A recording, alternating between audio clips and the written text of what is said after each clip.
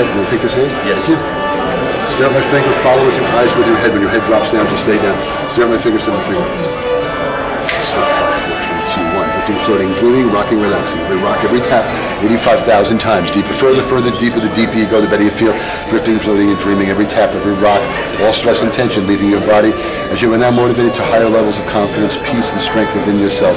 The more confident become, you become, the more powerful you become as a hypnotist. And as I tap this area, I reset a switch, a dial, a thermostat, a computer, as if you received over 18, 22 years worth of knowledge, wisdom, and experience as a hypnotist.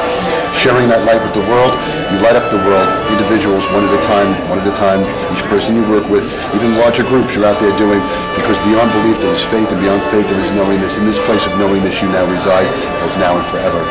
Every time you see any kind of a challenge in your life, you rise above the adversity because you are dynamic and mighty, challenge-oriented, problem-free for the rest of your life, thriving, succeeding, and breaking through for you. Every time you shake your head no, you're saying no to any and all adversity, smiling about how powerful and victorious you are, free of ever being your problems. You instead embrace the victorious nature of who you are to rise above.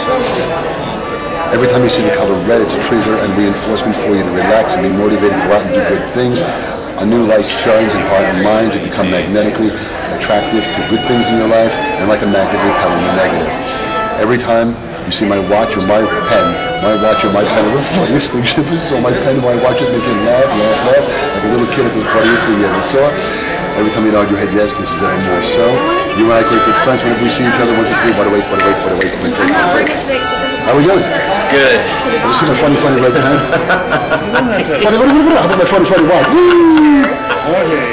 And for the camera, can I do one more time just to really freak out people at home? Yes. You see my finger sleep. Five, four, three, two, one. Drifting, floating, dreaming, rocking, relaxing. Every rock, every tap, 85 bazillion times, deeper and further. You've had a nine-hour nap, a seven-hour back rub. All this stuff I've taught in that class or any other class you've taken becomes a permanent part of who you are, adapting in its own way to your own uniqueness. You're feeling absolutely wonderful and amazing. Yes, this is true. You are motivated, unstoppably confident for you in the ways that work best for you. Unstoppable force. You now become a remain. One, two, three. What? Wait, wait, wait, wait, And you have seen my funny red pen. I did show red pen. Would that be funny a few minutes ago? No, it wasn't. But guess who was hypnotized? That would be you, my friend.